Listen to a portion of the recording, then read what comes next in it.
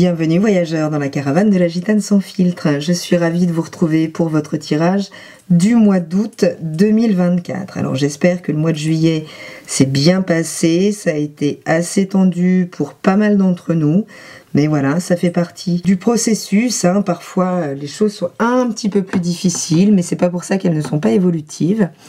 Donc j'espère que vous allez bien. Je voulais vous remercier pour tous vos messages, pour vos abonnements, pour vos likes. Vous me comblez de bonheur. Vous êtes une communauté absolument sublime.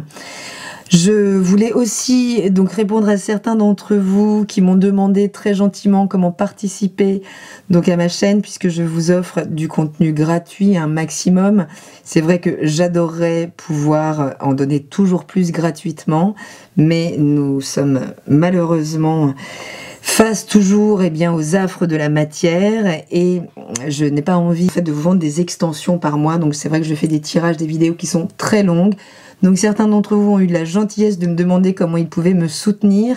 Eh bien voilà, je vous affiche dans un coin de l'écran donc la possibilité de faire des dons. J'ai fait un petit tuto parce que c'est pas forcément évident donc sous les vidéos YouTube. Ça s'appelle Merci je crois. Donc il y a la possibilité, si vous souhaitez euh, soutenir mon travail, s'il vous plaît, eh bien donc de pouvoir participer à des donations, voilà, qui me permettront de maintenir des vidéos donc gratuites, puisque je ne vends que mes prestations donc de coaching et de consultation sur mon site, dont vous trouverez également le lien dans la barre de description. Voilà, ça c'est dit. Je vous remercie. Donc ce mois-ci, tous les secteurs de vie comme le mois dernier, avec une énergie début de mois, une énergie fin de mois, avec une carte événement. Peut-être y aura-t-il des surprises qui se glisseront au niveau des secteurs amoureux. Il y aura également une carte conseil et nous découvrirons à la fin quel est l'arcane majeur qui viendra résumer les énergies de ce mois. Je vous remercie donc pour votre présence et je vous dis à tout de suite pour la lecture des énergies du mois d'août pour votre signe. Bienvenue, chers amis du signe du lion. Alors, nous allons voir par secteur de vie comment peut se dérouler votre mois d'août. Alors, tout d'abord, ce mois d'août, votre maison 1, la maison de la personnalité, de ce que vous présentez au monde. Eh bien, c'est très clair ce mois-ci, puisqu'on commence avec une arcane majeure. Donc, vous êtes en position de l'empereur, qui n'est autre que celui qui maîtrise la matière. Donc, on parle de stabilité ici, d'ancrage. Vous êtes puissant, on le sait, ça se voit. Vous êtes peut-être sûr de vous et c'est très bien comme ça. Alors, en fin de mois, bon, par contre, en fin de mois, peut-être que vous pourriez revenir sur quelques erreurs ou quelques désillusions. Hein. Peut-être avez-vous porté là vos pensées un peu trop loin par rapport à la réalité. Donc il pourrait y avoir quelques erreurs commises, alors peut-être par excès de confiance, vigilance quand même. Hein. donc euh, on parle d'erreurs en termes de communication aussi, hein, mais la possibilité de revenir sur des choses. Et on nous parle eh bien d'amitié. Donc vous êtes peut-être, vous particulièrement, dans le partage ce mois-ci, entouré d'amis peut-être, surtout si c'est les vacances, et vous êtes en tout cas la personne loyale de l'histoire. Le conseil, c'est peut-être de toujours prendre conscience que euh, nous sommes sur un chemin et que il est peut-être dangereux parfois, hein, en voyant ce 7 d'épée, de se croire arrivé trop vite. Bon, en tout cas, les choses sont en train de s'épanouir. Peut-être êtes-vous, je vous le souhaite, en train de vous épanouir. En ce qui concerne vos valeurs, vos biens, vos finances, mais également les valeurs que vous vous reconnaissez. En début de mois, eh bien, on est à nouveau dans cette stabilité. Donc ça, c'est chouette. En tout cas, dans la stabilité, au niveau de ses désirs, vous êtes dans l'engagement. Alors, peut-être que vous signez, hein, concrètement des, choses qui vont stabiliser cette partie matérielle de votre vie, mais on peut parler également, vous, de votre engagement, de savoir où vous voulez aller pour faire fructifier vos valeurs, justement. Et en fin de mois, il peut se passer des choses là-dessus, puisqu'on a une arcane majeure qui parle de mener une action dans la matière. Donc il y a des choses à faire pour gagner cette stabilité d'accord, que vous semblez déjà incarner. Donc c'est super si vous l'avez en termes d'énergie, mais il y a quand même des choses à faire. Il y a un mouvement à suivre. En termes d'événements, ouais. Parce que il faudrait quand même être un petit peu vigilant. Alors vigilant à vos affaires, hein, on peut parler pas forcément de vol, mais voilà, ça peut être de se faire dérober des choses ou peut-être de se faire prendre sa valeur par le regard de l'autre. En tout cas, on vous dit de passer à l'action et en termes de conseils, d'ouvrir le champ des possibles. Donc de travailler en fait à cette abondance financière, à cette à cette sécurité intérieure, de réouvrir un champ des possibles, ce qui veut dire que vous l'avez peut-être fermé, ce champ des possibles. Les choses se réouvrent au niveau matériel, donc c'est quand même plutôt chouette. Maison 3, la maison du quotidien, de la fratrie, du voisinage, des petits déplacements. Alors, en début de mois, eh bien, euh, j'espère que vous prenez des vacances parce que vous êtes à bout. Soit vous êtes épuisé, soit là, il est temps en tout cas de déposer un fardeau que vous avez trop longtemps porté. Alors, est-ce que c'est au sein de la relation? Est-ce que c'est parce que vous vous déplacez tout le temps? Vous avez un métier qui fait que vous vous déplacez tout le temps et vous êtes juste très fatigué. Est-ce que c'est parce que vous prenez en charge, vous déchargez les voisins de pas mal de choses, mais ça semble quand même un peu lourd. Et en fin de mois, ouais, on a un 5 de coupe. C'est émotionnellement, là, en fin de mois, qu'on pourrait avoir des regrets, revenir sur, euh, des choses, se sentir coupable. Alors peut-être coupable d'avoir délaissé euh, des choses trop lourdes pour vous, mais euh, ou est-ce que vous prenez ce fardeau sur vos épaules par culpabilité?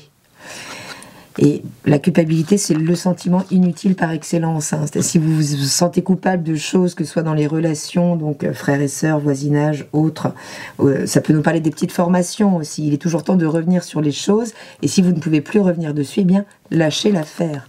Hein, lâchez prise. Il y a quelque chose de clé dans cet environnement immédiat, au niveau émotionnel, à gérer. Il y a quelque chose d'important en termes de trop de responsabilités qui, euh, qui finalement créent, qui ne sont pas euh, prises pour les bonnes raisons, j'ai envie de dire. Et on vous parle de vous expandre. Donc peut-être de vous défaire concrètement d'un entourage, d'un... C'est pas vraiment les, les routines, hein, mais c'est comme si on vous encourageait à reprendre de l'expansion au sein justement de ce quotidien, au sein de cette fratrie, de cesser de porter pour les autres, surtout si ça ne vous permet pas, vous, cette expansion. Joyeux anniversaire d'ailleurs au deuxième et troisième décan. Hein. On parle d'expansion, je pense à votre soleil là. C'est votre moi. Maison 4, racine, foyer, lieu de vie, début de mois.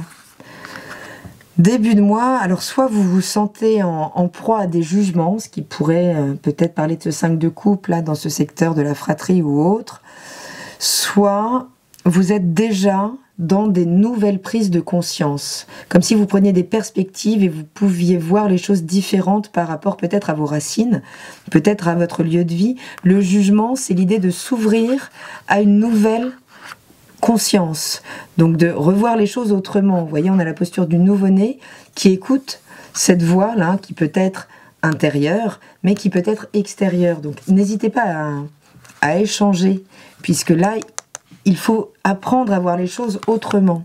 Et en fin de mois, on a une deuxième arcane majeure et qui nous parle de la pleine créativité. Donc il y a de l'expansion à nouveau. Il y a de l'expansion, il y a beaucoup de communication surtout. Donc vous revenez à la, communication. Donc ça, c'est chouette. Ouais, on parle quand même vraiment des racines là. Hein. et d'éclosion. Vous voyez, on avait l'expansion, là on a l'éclosion. Il y a une nouvelle éclosion. C'est comme si vous pouviez émerger dans un, une nouvelle, un nouveau point de vue par rapport à vos racines. peut-être parce que vous allez les visiter, hein, et qu'il y a des choses à communiquer qui doivent se dire, en fait, pour grandir peut-être en maturité, en sagesse.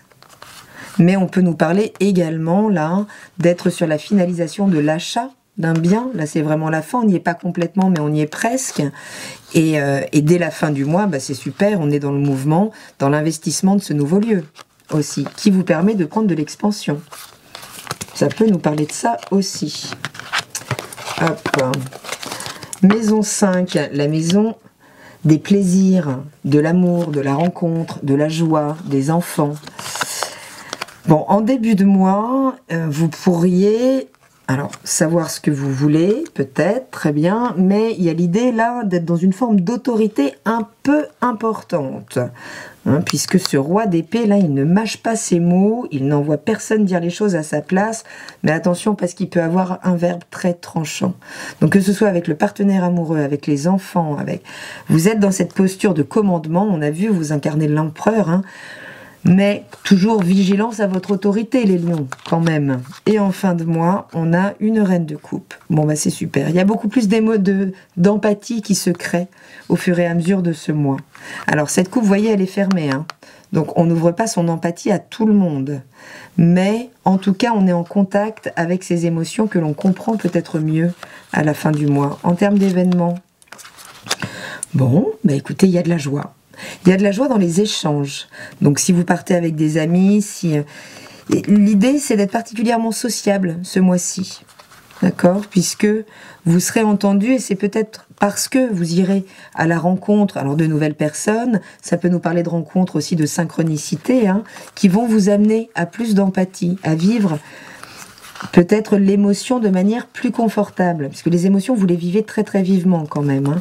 Alors on peut voir au niveau événementiel amoureux, on a une transformation. Et voyez, on a cette transformation, je vous en parlais, hein, cette posture autoritaire de commandement. Alors on peut nous parler de la rencontre aussi avec un homme d'un signe d'air. Donc Gémeaux, Balance ou Verseau.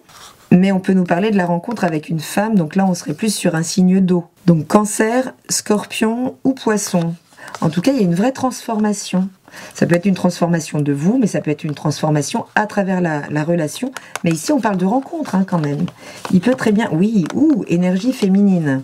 Il y a des grandes émotions à vivre si vous vous sociabilisez ce mois-ci et qui peuvent transformer considérablement eh bien votre, votre joie au quotidien peut ramener beaucoup plus de joie. En tout cas, il y a des émotions à vivre ce mois-ci. Je suis ravie pour vous, ça annonce des plaisirs quand même. Maison 6, la maison du quotidien, des collègues, du bien-être, du soin que l'on se porte. Oui, début de mois, vous pourriez être complètement HS, vraiment fatigué, fatigué, et on retrouve cette notion de regret. Donc, qu'est-ce que vous avez laissé là derrière vous, mais sans vraiment le laisser derrière vous? À la fin du mois, on a quoi? Bon, avec un 8 de denier, on est dans la pleine productivité à la fin du mois. On s'y met, quoi. Alors, peut-être avez-vous compris que eh bien c'était en passant à l'action que vous pourriez vous défaire d'émotions pas très plaisantes.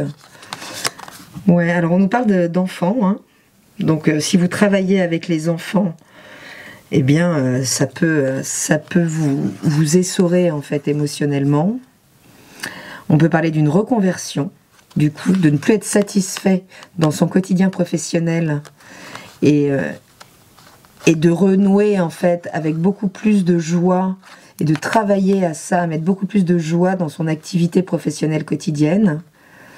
Mais on peut nous parler aussi de vraiment, euh, oui, prendre soin de son enfant intérieur aussi. Donc peut-être que là, vous revenez, vous laissez une situation début août pas très satisfaisante, que vous retrouvez de la légèreté entre deux, ce qui vous permet de vous remettre au travail vraiment à la fin du mois, et on vous dit qu'il est temps il est temps, là, de vous défaire de ces scories d'émotions, de regrets, de culpabilité. Il est vraiment temps de vous mettre au travail, là, pour, euh, mettre plus de joie, plus, plus d'innocence, pour se décharger de ce fardeau dont on a parlé. Hein. Bon, il est temps, là, de prendre soin de vous, les lions. Ok Maison 7, la maison de la relation, qu'elle soit contractuelle ou professionnelle. Alors, début de mois, ouais, on a quand même là euh, on, retrouve cette énergie peut-être de rencontre avec une personne d'un signe d'air, toute nouvelle, là, au mois d'août, ou alors avec une personne jeune, donc signe d'air, donc on disait Gémeaux, Balance ou Verseau, mais ça peut être aussi juste une nouvelle vision de la relation à travers la rencontre. En fin de mois, non, en fin de mois, euh, en fin de mois, on est plutôt dans la solitude, plutôt dans l'introspection. Ou alors on revient vers une personne de signe d'air, parce que peut-être qu'on y a pensé tout l'été et qu'on décide de revenir vers. Ok En termes d'événements, ouais, il y a de la nouveauté. Hein. Il y a de la nouveauté sur le terrain affectif, quelque chose qui arrive quand même très rapidement. On est complètement dans cette énergie du page d'épée, là. Il y a une nouvelle, une nouvelle rencontre, quelque chose. mais qui peut juste créer une crise intérieure aussi, hein, dans votre perception. Oh là là, oh là là, comme c'est joli. Regardez cette rencontre-là. Regardez cette rencontre. Ça vous met pas forcément à l'aise.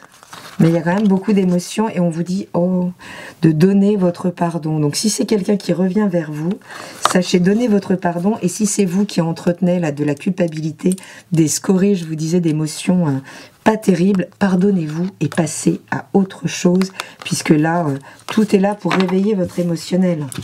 Donc c'est quand même très très chouette. Ouvrez-vous à ça, s'il vous plaît.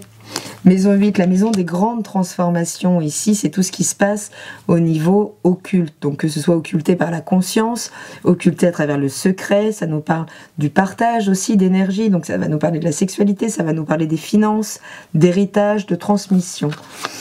En début de mois, ok. Peut-être êtes-vous en train de travailler sur vous, justement. En train de travailler concrètement, là, à descendre un petit peu plus dans votre psyché pour commencer à, travailler à votre propre défaut peut-être d'auto-estime Ou juste êtes-vous dans la collaboration Peut-être? Vous pourriez réfléchir à monter un business avec plusieurs personnes. Et en fin de mois, on est dans l'intériorité totale. Avec, euh, avec cette grande prêtresse, on peut nous parler de secrets qui se révèlent aussi au niveau du transgénérationnel féminin du mémoriel féminin, qui pourrait, on peut pas nous parler de l'archétype de la mère ici, très puissant, auquel on revient en fin de mois. Mais il y a des choses assez secrètes, sans doute. Ok, peut-être une relation secrète que vous faites, euh, que vous rencontrez dans le cadre du travail mais peut-être avec une personne, alors ça peut être secret parce que la personne est déjà engagée, mais ça peut être votre engagement qui se fait dans la plus grande discrétion. Mais en tout cas, il y a une porte qui s'ouvre. De toute façon, il y a forcément une porte qui s'ouvre en travaillant à vos, mécaniques inconscientes. En termes d'émotion, on retrouve la lune ici, hein, qu'on a ici en maison 5. Donc on a quand même un vrai écho là. Donc il s'agit d'aller chercher au fond de vous, là, ce qui peut aujourd'hui euh, bah, faire que vous vivez ce que vous vivez, si ça vous convient pas. D'accord? Mais il, peut vraiment y avoir une relation qui se tisse dans le plus grand du secret. La maison neuve, la maison où on élargit nos horizons, que ce soit en termes de compréhension, que ce soit en termes de déplacement géographique lointain, c'est vraiment ici où on va pouvoir réfléchir à notre philosophie de vie du monde. Et là, il y a une grande transformation. Alors ça peut être une grande transformation dans le cadre d'un voyage à l'étranger, dans le cadre de prise de connaissances, de poursuite de hautes études aussi, où vous pourriez décider d'arrêter là. Il y a des choses, ou alors euh, trancher effectivement avec ce que vous vivez pour peut-être vous engager à l'étranger. Mais en tout cas, il y a un changement radical peut-être de philosophie, de point de vue. Et en fin de mois, oui, les choses se réouvrent mais parce que vous transformez hein, vraiment. On a vu qu'il y avait la porte dans la maison de la transformation, et l'arcane 13, c'est bien celle de la mort et de la renaissance derrière. Donc ça veut dire que votre philosophie de vie peut se restaurer, alors peut-être au contact de l'étranger, de, ce qui vous est étranger, en vous ouvrant à de nouvelles perspectives, puisqu'ici, on a vraiment l'idée de partir justement à la conquête de nouveaux territoires. Donc dans le cadre de vos études, dans le cadre de votre cadre de vie, en tout cas, il y a une émancipation là qui vient se faire. Ouais, euh, regardez, c'est quand même assez fort. Hein. C'est un mois d'août assez puissant, hein, pressé. En plus, c'est un moment de révolution solaire pour beaucoup d'entre vous. Ok, on va revenir à l'essentiel ce mois-ci, très chers amis Lions. On va revenir à l'essentiel peut-être en prenant des grands virages, donc philosophiques, que ce soit dans le cadre des études, que ce soit un voyage à l'étranger qui vous chamboule tellement que, ok, vous transformez tout, et là vous ouvrez des nouvelles perspectives. On part à la conquête de ses désirs à la fin de ce mois. Écoutez, c'est formidable. On va laisser ça comme ça. L'unicité, d'abord la former avec soi-même. Toujours. Maison 10, justement, les ambitions, la carrière, la vie publique. Alors, en début de mois, vous vous éloignez de quelque chose. Hein. Donc, il y a bien une transformation quand même. On l'a vu aussi en maison 6. Soit vous éloignez juste d'une situation professionnelle qui vous a mis des nœuds au cerveau, ou des échanges qui ont pu être assez euh, difficiles, peut-être avec un supérieur hiérarchique. En tout cas, il y a quelque chose duquel vous vous éloignez. Et c'est pour le meilleur. Waouh C'est pour le meilleur Puisque vous voyez, après les regrets du 5 de coupe, ici on retrouve l'innocence. Donc il y a de nouvelles perspectives là. Vous pouvez changer d'ambition cet été. Ouais. Et vous pouvez changer d'ambition, alors peut-être parce qu'il y a une insatisfaction financière concrète là où vous êtes déjà. Mais en tout cas, il y a un retour à l'innocence et qui peut, cette innocence, elle peut être porteuse d'opportunités matérielles concrètes. Waouh Il y a un moment de récolte là. Donc, mais c'est en sachant s'éloigner d'une situation qui ne vous convient pas ou qui a été conflictuelle au niveau mental ou en termes de communication. Mais fin de mois, euh, la vie est belle. Hein mais on dit s'il y a des vraies opportunités là, et des opportunités de, de soit de, promotion concrète, soit eh bien d'améliorer vos finances en lien peut-être avec donc de nouvelles ambitions. Les choses changent, chers amis. Maison 11, la maison des amis, des réseaux, de là où on partage notre système de valeurs. Début de mois, ok. Roi de bâton, nickel, on entreprend. Donc peut-être que là, parce qu'il y a des échanges, il y a des synchronicités, il y a des bonnes rencontres au bon moment, peut-être vous prenez le lead de projets collectifs. Peut-être vous êtes celui ou celle qui propose et qui va rallier les gens dans le terme d'entreprendre un projet commun en lien avec vos désirs en tout cas. Et en fin de mois, waouh, regardez ce couple. On a le roi au départ qui donc, lui, maîtrise vraiment ses désirs. Et à la fin du mois, cette reine, elle fait corps avec. Donc là, on est en plein magnétisme. C'est peut-être pour ça aussi que vous attirez des, des opportunités matérielles et financières. Hein. Ouais, il, se passe quelque chose. Il y a une rencontre, quelque chose, il y a un événement bouleversant, hop, impromptu, sorti de nulle part, qui vient là vraiment vous faire renouer avec votre désir. On peut parler d'une rencontre évidemment dans le cercle des réseaux amicaux, euh, au milieu de votre sociabilité, puisqu'on a quand même un couple hein, qui se dessine ici. Ouais, à condition de sortir de la peur. C'est ça le conseil. Donc peut-être que là, en descendant un petit peu dans votre intériorité ce mois-ci, en allant plus à l'écoute de vos émotions, il y a des choses qui se revoient au niveau des racines, vous pourriez vous débarrasser de la peur. Alors ça peut être par le biais de rencontres aussi, qui vous permettent de réorienter, de, remettre vos désirs en avant en fait, de les affirmer à nouveau. Donc sacré moi. La maison 12, la maison de la mise en retrait, de fin de cycle. Alors mise en retrait choisie, c'est toujours mieux, sinon imposée parfois en fonction des cartes, on va voir. Bon, génial. C'est vraiment là. Euh, il y a l'idée de trouver une autonomie en termes d'auto-estime, de renouer avec, de renouveler complètement son potentiel émotionnel, mais à condition euh, que, de, savoir finalement le protéger aussi. Mais il y a l'idée, peut-être à travers ces retraites, là que vous ferez du monde, cette mise à distance, du brouhaha de votre quotidien, eh bien c'est peut-être là où vous connecterez avec votre sensibilité. C'est l'idée là, de savoir vous, vous, reconnecter à votre sensibilité ce mois-ci, parce qu'il y a un renouveau qui est totalement possible et envisageable. Waouh Fin de mois, effectivement, la transformation, elle est effective intérieurement, là, il peut y avoir des choses. Alors, on a vu qu'il pouvait y avoir des révélations de secrets aussi. Hein. On est aussi là dans la maison des secrets. Donc, des événements bouleversants. Certes, on va voir quoi Oui, au niveau de l'histoire. Il y a des choses à aller déterrer au niveau des racines, chers amis du lion. Donc peut-être sur justement votre mode émotionnel, comprendre qu'il est lié à votre héritage transgénérationnel peut-être, hein, en maison 8, mais finalement il fonctionne sur un mode hérité et non authentique, non le vôtre. Et là, vous avez la possibilité de restaurer tout ça. Le conseil, c'est la renaissance. Waouh bah, Écoutez, c'est fort. Hein. Ça peut être bousculant, la tour c'est toujours un peu bousculant puisque ça vient chahuter vos structures. Mais ça vient chahuter uniquement les structures qui ne sont plus authentiques, qui ne vous permettent plus votre expansion. Ok? Au quotidien, qui ne vous permettent plus tout ça. Il y a une vraie renaissance, mais ça peut passer quand même là par la révélation de secrets, par aller euh, chercher un petit peu plus loin finalement des explications et surtout, j'allais dire rendre à César ce qui est à César, peut-être vous départir d'émotions qui ne sont pas les vôtres en fait, qui sont juste un bagage hérité. Mais bon, on a vu quand même hein, que vous étiez, euh, ok, vous êtes dans cette posture. Donc oui, en fin de mois, il y a des choses sur lesquelles peut-être vous étiez bâti des illusions. Bon, ok, on va rester sur l'empereur de toute façon. Quel était l'arcane majeur du mois qui va venir résumer tout ça? Bon, bah écoutez, je vous le donne en mille, c'est l'empereur. Donc soyez vraiment dans votre corps. L'idée, c'est de travailler l'ancrage. Mais comme on parle aussi des racines, Évidemment, il faudra être ancré parce que ces racines, justement, elles pourraient être un petit peu bouleversées, peut-être par la révélation de secrets, de messages intérieurs, d'une compréhension plus vaste de votre fonctionnement émotionnel en lien avec votre héritage émotionnel. En tout cas, c'est quand même un mois de grande transformation pour votre expansion, chers amis du lion. Je vous souhaite un très très beau mois d'août. Je vous embrasse et je vous dis à très bientôt dans la caravane de la gitane sans filtre. Salut